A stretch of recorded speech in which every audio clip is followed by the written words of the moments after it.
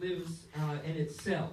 And so, as we look um, through the last couple of weeks, three weeks ago, we took a look at the value of human life and that every person and every culture and every color of people is not just important to God, but is a reflection of who He is. And ultimately, then, it's a blessing for us to be able to see the tapestry of colors and the tapestry of, um, of different cultures and the way that they worship uh, Jesus uh, woven into our fabric of the world. So we can embrace that as a gift that is from God. And then two weeks ago, we talked about the dangers of alcohol and addiction, and we explored how alcohol and drugs may look like a solution that the world has to offer, that initially it seems to offer some relief from the pain that we're feeling, but ultimately what happens, it ends up exacerbating the problems that we have in our lives, and that the only solution that we have uh, for the problems that plague us in this world is the gospel of Jesus Christ. And then last week we talked about mental health and suicide. We took uh, three common questions and we walked through them. Uh, very common question number one was, Where is God in my depression? Where is God in my depression? Because that seems to be the first thing to go. That it seems like that which can help us the most is the first thing that, that seems to become uh, hopeless for us. Depression. And we looked at some different uh, stories about God and about um, how He uh, can uh, influence our lives and how He loves us in a way that allows us to battle depression. And then the, fir- the third question that we looked at, and one that was close to my heart and is close to my heart, is Is my loved one who committed suicide in heaven? And the answer is ultimately yes. As long as they accepted Jesus Christ, they are forgiven and it doesn't matter how their lives ended. And while these topics and other taboo topics may uh, make churches and people uncomfortable, uh, we believe that the, that the Lord has a message for each and every one of us that allows us to be able to face not only these questions, but other questions, and that the Bible is, uh, is part of uh, who, uh, who God wants us to become, and that as we are able to plunge into that, we are able to see how God wants us to live in different areas of our lives. And that's why today, in a culture that's um, driven by an over sexualization of culture, um, we are going to talk about our final taboo topic, which will be sex. And I've entitled this message Body Worship, uh, specifically because um, sex can become something that we worship. Sex can become a worship uh, that is that is misunderstood and a worship that can cause us to bow down to it. And so I want you to um, kind of put away the, the idea that, um, you know, sex is a taboo topic because ultimately God created it for something more than what the world says it is. So either we bow down to the whims of our bodies and worship at the temple of other people's bodies, or we bow down to God and we have a decision to make about how we live each of our lives. And so today, I'd like you to keep three questions in mind. And those three questions are To whom does my body ultimately belong? To whom does my body ultimately belong? The second question is What does it mean to be one with Christ? What does it mean to be one with Christ? And then, third, knowing what it cost Jesus to redeem us, do I need to change the way that I am living? Knowing what it cost Jesus do I need to change the way that I'm living? And I want to um, invite you to open your Bibles this morning to 1 Corinthians 6 12 through 20. Uh, the passage will also be on the screen for you if you need it. And as you're getting there, I'll just give you a little bit of background about what's going on in the church of Corinth. Uh, they, this church is extraordinarily sick. They um, are in like the center of a culture that is has been pagan for centuries where they have uh, sacrifices, where they uh, believe that prostitution helps you uh, become more spiritual. They've been polluted by the ways of the world. They've forgotten that they have been bought with a price. And that ultimately, um, Jesus expects something greater than what they're experiencing that Jesus wants them to have something more than what the world has to offer. In fact, the world is so, this church is so sick that they have adopted into their family or uh, adopted as a Christian brother uh, a person who has taken his own father's wife, his stepmother, as his own wife. And something that the Romans didn't even approve of. And Paul's uh, here in Corinthians saying, What in the world are you doing? What in the world are you doing? The pagans don't even accept this. And yet here you are claiming to be Christians and living in this way and accepting somebody like this. So, as um, 1 Corinthians moves on, Paul continues to admonish the church, and in a didactic uh, fashion or an instructional fashion, um, he moves through each chapter, giving us uh, ways that we can learn to be more like Christ. And so, chapter 6, verses 12 through 20 is no different. And he takes several justifications for sexual immorality and argues against them. And at this point, the church is uh, continuing to accept uh, the, the um, pagan uh, view of sex and saying that it's a way to become uh, more spiritual. And so these Christians are going to pagan temples and sleeping with the prostitutes that are sitting outside these temples. So here we go. Um, 1 Corinthians 6, 12 through 20. All things are lawful, all things are lawful for me, but not all things are helpful. All things are lawful for me, but I will not be dominated by anything. Food is meant for the stomach, and stomach for food. And the Lord will destroy them both, and the other. The body is not meant for sexual immorality, but for the Lord, and the Lord for the body. And God raised the Lord, and will also be, raise us up in his power. Do you not know that your bodies are members of Christ? Shall I then take members of Christ and make them uh, members of a prostitute? Never. Or do you not know that he who is joined to a prostitute becomes one body with her? For as it is written, the two shall become one flesh. But he who has joined the Lord becomes one spirit with him. Flee from sexual immorality. Every other sin a person commits is outside of the body, but sexual immorality, uh, uh, sexual, sexually immoral persons sin against their own body. Or do you not know that your body is a temple of the Holy Spirit within you, whom you have from God? You are not your own, for you were bought with a price. So glorify God in your body. Dear gracious Heavenly Father, we pray that as we move through this text today, that we will see and that we will realize that ultimately um, our lives are part of who, um, of, of you. As Christians, we are part of you and that we have uh, a way that we are to live that is glorifying to you, and that uh, while the world may say uh, these things uh, are good, you're saying, yes, you're lawfully allowed to do these things, but listen, it's not always good, and in fact, it's sinful. And as we as Christians have come to Jesus and said, uh, Lord, forgive us of our sins, that we should have a desire in our hearts to avoid the things that hurt you. And so I pray that you'll open our eyes and our ears today and help us to receive the message that you have. And I pray that in Christ's name. Amen. The first point I want to make is that uh, we need to have a right view of the body. We need to have a right view of our bodies. Paul begins the passage by countering some popular arguments for sexual immorality. He says, um, you know, you shouldn't be having sex with a prostitute, uh, even though you're saying all things are lawful. And I'm telling you, yes, that might be true, but not all things are helpful. So Paul here acknowledges the reality that the saying, all things are lawful, is true.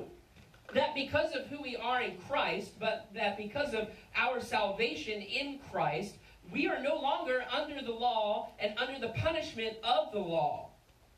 But when we become uh, believers in Christ, we should desire more than simply following rules, ultimately we should be loving God in such a way that causes us to want to love Him. Yes, we shouldn't take advantage of those things that God says, yes, you're no longer under the curse, but why would you do that to someone who has given so much for you? Not all things are helpful. So immediately we see the strange rationalization of the Corinthians that are trying to rationalize their sinful behavior. And to be clear, these Christian pagans, again, are going to pagan temples where there are religious prostitutes that the uh, Romans and the pagans believed helped them get to a higher spiritual plane. And so Paul's looking at them and saying, you're having sex with prostitutes, but you're not even realizing that it's not helping you at all.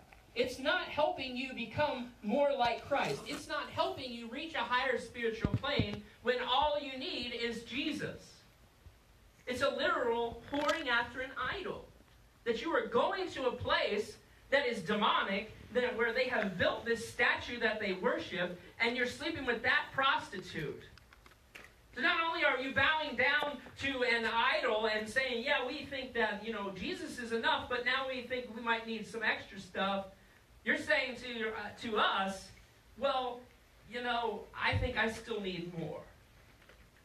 And I'm going to bow down at this prostitute's feet and worship her instead. Paul tells them, hey, listen, nothing could be further from the truth. It's not helpful. In fact, it's harmful to your relationship with God. So, yes, sure, all things are lawful for you. But listen, I will not be dominated by anything. I will not be dominated by anything. Because we can be a slave of one of two things righteousness or unrighteousness. If we're bowing down uh, our lives and our bodies at somebody else and, and at, the, at sex, then we're not bowing down at the altar of Jesus. We're filling it with something that it wasn't meant to be. And many people pursue sex like this. It's like some kind of force that pushes them forward to the next sexual conquest. And so you become dominated by an interest of just finding the next sexual partner in hopes that that will make us feel complete. And, Jesus, and Paul's already saying, listen, you're already complete in Jesus Christ. And you shouldn't be dominated by anything else. Because when we're following the law of sex, we're not really free. And in fact, it makes us feel worse about who God says we are. God says you're a child and yet you're saying, I'm worthless when you're laying down with an idol. The next argument goes like this. Um, verse 13 says, Food is meant for the stomach, and stomach for the food. And then Paul says, And God will destroy both one and the other. The body is not meant for sexual immorality, but for the Lord, and the Lord for the body. Basically, what the Corinthians are saying hey, if you got an itch, scratch it. If you got an itch, scratch it. Sex becomes more than uh, less than what God intended it to be. It becomes simply a hunger to the Corinthians to be satisfied and nothing more. But see, it, it totally misses the point of why God gave us the gift of sex. Paul says, God will destroy them both. The body is not meant for sexual immorality, but the Lord for the body, and the body for the Lord. So I can't tell you how many times I've seen girls and, and guys be used by somebody who's simply ser- searching to scratch an itch, put another notch in their belt. They'll say all the right things, they'll schmooze you, they make everything seem great. And then the next morning you wake up and you feel completely worthless because they just walked out the door. And they'll never call you again. Does that sound familiar? There's a story uh, from DailyMail.com. I just pulled some clips out of this. Um, it says, He was incredibly good looking, and all the girls fancied him, recalls Ainsley, who uh, had now taken a vow of celibacy after a string of soulless one night stands left her feeling cheap and worthless. He pursued me relentlessly, and I felt flattered that he was attracted to me. But after I slept with him, I never heard from him again. And later I discovered he had many girls on the go. And for a while, I loved being single, and I went crazy, sleeping with lots of different men. But I quickly realized it was a bit of a, an emotional roller coaster. One guy, who was meant to be a close friend, took advantage of me when I was really drunk. We ended up having sex, and the next morning I woke up and I was mortified. And in an online poll uh, regarding one night stands, the chief emotion expressed by women after a one night stand is regret. Regret. Paul says ultimately, God will destroy both the hunger and the food. That sex was created for a greater purpose, purpose than simply gratifying our uh, gratif- simply for a gratifying experience. Ultimately, the body was created to glorify God, and God is the one who blesses our body. So seeking after sexual pleasures may seem nice. It's not the ultimate purpose for which we were created. Ultimately, we were purposed for uh, for loving God, worshiping Him, glorifying Him, and living uh, in a way that not only uh, lets us love God, but lets us love other people. So God had a greater purpose. The next point I want to bring to your attention is that we need to have a right view of the union. A right view of the union. Paul says this Do you not know that your bodies are members of Christ? Shall I then take a member of Christ and make it a uh, member of a prostitute? Never. Or do you not know that he who is joined to a prostitute becomes one with her? For it is written, The two shall become one flesh. But he who is joined to the Lord is one spirit with him. The reality of the gospel of Jesus Christ is that when we receive Jesus in faith, that we are immediately filled with his spirit and that as we are filled with His Spirit, the promises that He has given to us are realized immediately. That we are saved, that these things are currently happening, that the world is already redeemed when Jesus promises that when we reach the end, He will conquer all. And therefore, we are one with Him because He's living inside of us. We are one with Jesus, which means that when we take someone who is not our husband or wife into bed, we are now taking Jesus with us. Now, I don't want it to sound weird. Jesus is not like uh, engaging in this, but we are taking him with us. We are hurting his spirit and really trampling the blood of Jesus Christ by saying, I'm going to do what I want. It's like uh, taking a best friend that you may have and sleeping with their girlfriend. Why would you do that? It hurts people. And we hurt Jesus as we move into those kind of relationships. We grieve the Spirit. And to make matters worse, the Corinthians don't even have this right view of sex. They see it as an appetite. They weren't concerned with the fact that they were representing Jesus and claiming to be different than the world while they were sleeping with prostitutes. They were seeking to relieve an intense desire of sexual gratification outside of the normal realm of marriage. See, God had a plan when He created sex. He didn't want us to have multiple sexual partners. He desired for us to have one. For one. Now, why would he desire for us to have one? He says, Paul says this Do you not realize that when you have sex with her, you're becoming one body with her? But listen, in this case, somehow, 1 plus 1 equals 1. But if we start adding other people into that equation, guess what? 1 plus 1 begins to equal 2, 3, 4, 6, 7. And before we realize it, we have an issue. We have an issue. We can't become intimate with the one that God appointed for us to be intimate with. You see, we can't be one with somebody when we've been one with others. Because one plus one should always equal one. Regardless of who it is, whether a girlfriend or an ex wife, a boyfriend, a prostitute, or whatever, there's a oneness that occurs with that person that really can't be explained. We are inexplicably interconnected with that person for the rest of our lives. So, years down the road, we may find ourselves thinking about that person from years ago. Somebody that we used to know. But see, God's desire for us was to have one husband or one wife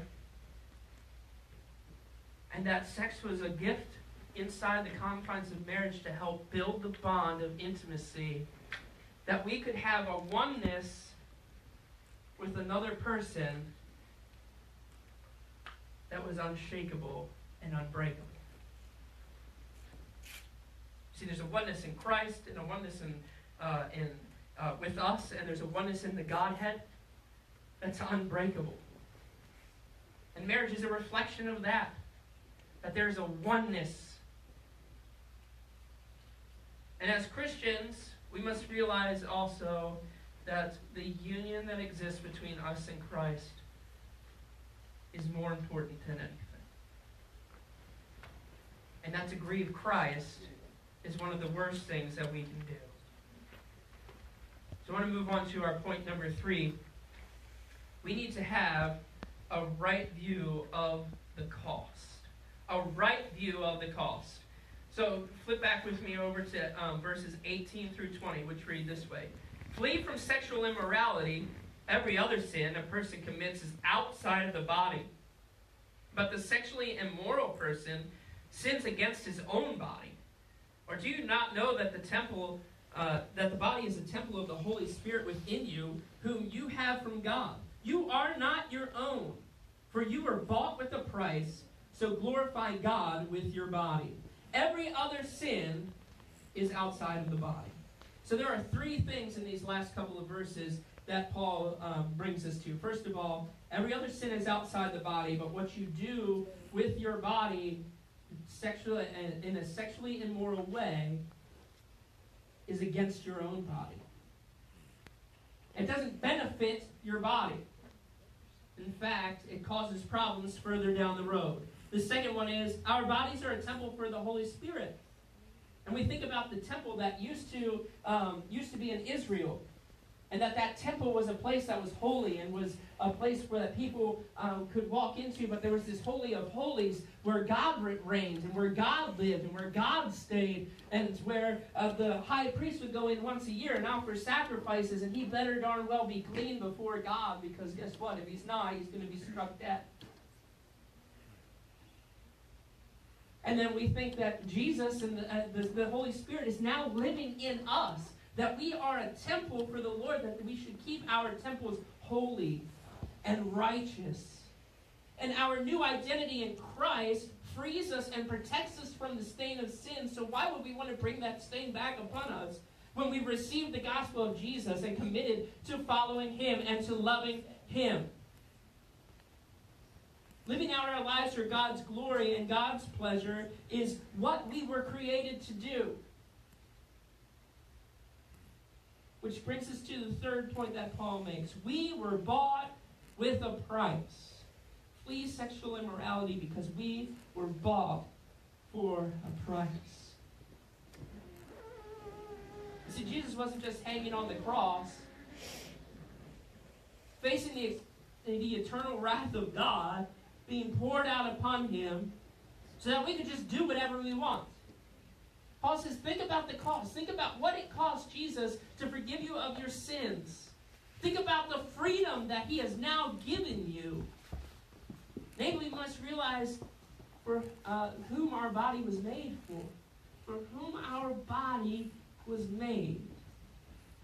And how connected we are to the one who sacrificed so much for each and every one of us.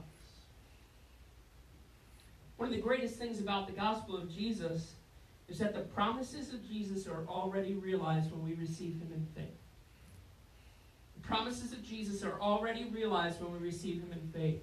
When the gospel is the center of our lives, when Christ is the center of our lives, everything else is able to revolve around that, and we are able to look at things and to say, is this something that me, who is now one with Christ, would be wise to do? You see, Jesus already calls us his children. We may think that sexual immorality will bring us hope, but guess what? It makes you feel worthless at the end. There is only one thing in this world that will fulfill our promises, or fulfill our lives, and those are the promises of Jesus Christ. Who fills our lives where we never walk away feeling worthless because the very creator of this world says, You are my child. You are my child. And that's what happens when we come to Jesus Christ. And He invites us each and every day to look at our lives and to examine the changes that we may need to make to know and love Him more. And I want to give you a few moments just to do that and to examine your own hearts today, to take a look at the areas where you think uh, that, that there may need to be a correction. That God is uh, that God is waiting with open arms to forgive us. We're already forgiven, but we don't want to grieve the Spirit.